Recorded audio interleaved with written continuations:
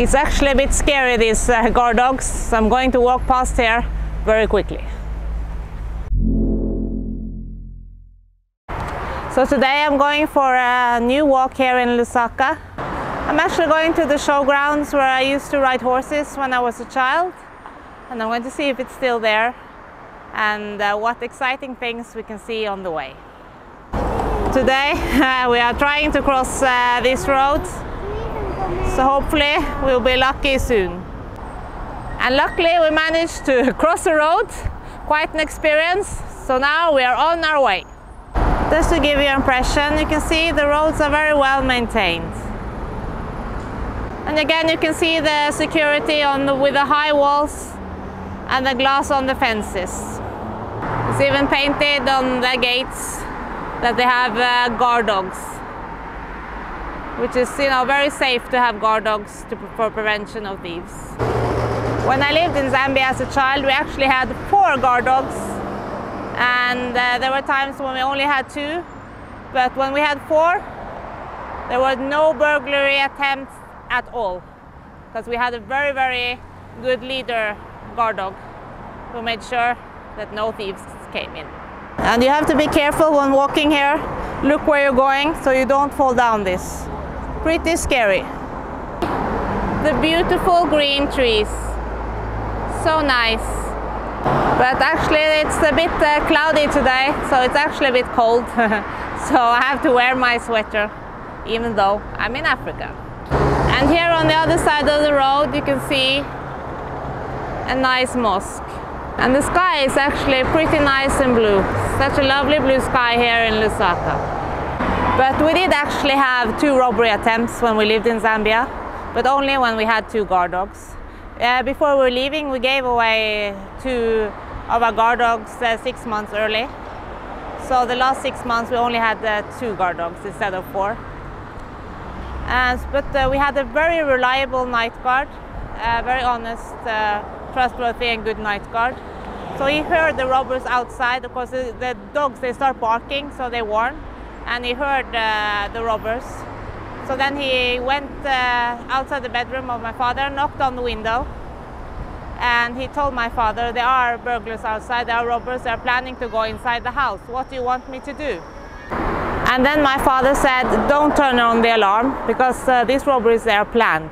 So if we had turned on the alarm, they would have just come back another day. So then my father, he called the anti-robbery squad, and they were outside the gate within five minutes and all the robbers were caught. So we were so lucky. They didn't even manage to get inside the gate. And there you can see a lady selling maize. Uh, can we have uh, two maize?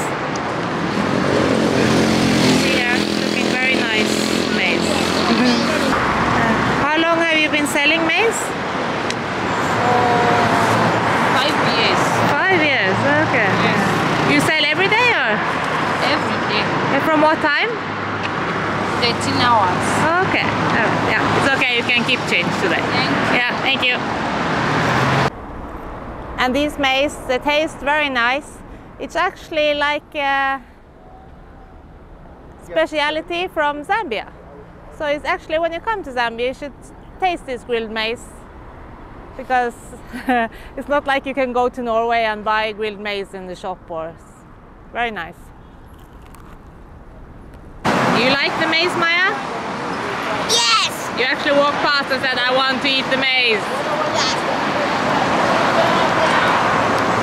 And here you can see by the traffic lights when the car stop, they sell basically everything here. Very hard-working people. Yeah, yeah. Oh, you are you are working here every day? yeah. And what are you selling? Ginger, lemons, Yeah. everything. And every day when the car stops here, you try to sell. Every time, every time. Yeah. You are how long? How many hours you work here per day? Today, Yeah, or every day. How how often are you here? Like, from morning up to 18. what is it like to? I think you are the only woman working here now on at this job.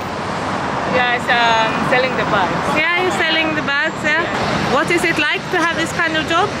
Yeah, it's very difficult for me uh, just because I don't have I don't have anything that that I can. Yeah, yeah. No, but it's uh, it's very it's very good to see women also starting to work and doing what men also were doing before. So yeah, good luck. And like I said before, it's very difficult to cross the roads, but here at least they have built a bridge to cross. Here is the bridge. I'm going to walk across it and show you a view of the busy roads. There's no traffic lights, so a very brave person is directing the traffic. And I'm so happy that there's a bridge here, because or else I would have to cross the road without it. I don't think it would be possible. All the traffic that is here and the hard-working people selling everything really. And here you can see the shopping mall Manda Hill. And now we cross the bridge and we're getting closer to the showgrounds. And there's so many cars here in Lusaka. Doesn't seem so poor at all. And again here we have to watch where we're going so we don't fall. And here's a closer look of uh, Manda Hill. And what you can see in Zambia now is that actually more and more women they are working hard and doing the same jobs as the men only did before, which is very inspiring to see. And here is the entrance to the showgrounds. Finally, we are here. First time I actually saw a real dustbin here in Lusaka. So now I'm going to try to walk the same road as I remember driving or being a passenger in a car when I was a child and let's see what is here. It looks very different from what I remember. So I'm wondering if there are any horses here left. And here are some guard dogs doing their job. It's actually a bit scary, these uh, guard dogs, so I'm going to walk past here very quickly. And here it says Gymkhana Club, so I must be in the right direction after all. And this place used to be BCB Nursery, where my sister went, but it looks like it's no longer there. Now I'm in the area where I used to be in, where they used to have shows. And I used to, I was in a competition here with a pony called Moon Dancer. I remember very well. Look at the rainbow colors. And you can even see the rainbow in the water. So nice. Such a beautiful area. And here you can see what was the warm-up area. And now I found the area where all the stables are. so fun to recognize it and still the roads are a bit the same.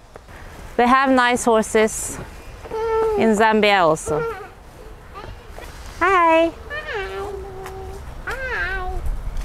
And now I'm going to walk up to see the stable where the horse that I rode was and the riding school. It's uh, Zambia is actually the place uh, where I learned how to ride. And I actually did a lot of competitions after I returned to Norway. And here you can see what the Zambian stable looks like. It's very nice actually and the weather is pleasant here all the time. And as a child I loved riding horses so much. And I really enjoyed every day I came here to the showgrounds where I can ride the horse. First I went to riding lessons where I learned how to ride. I started riding when I was seven years old here in Zambia. After I improved my riding skills I also got the opportunity to ride the school horses in the afternoon. It was very fun and then later uh, we had the horse that we borrowed for six months called Moon Dancer before we left back to Norway. And this is where I had my horses but now I think it almost looks closed. And this area, it used to be just green grass where they let out the horses to run around. But doesn't look like that anymore. And I'm walking down to see if I can find the area where they had the riding lessons when I was a child. I think I found the arena where I learned how to ride, though it's not so easy, you know, so many years later to recognize everything. And just to remember a small funny story, there was uh, an old pony called uh, Selina, or Serena, Serena was her name actually.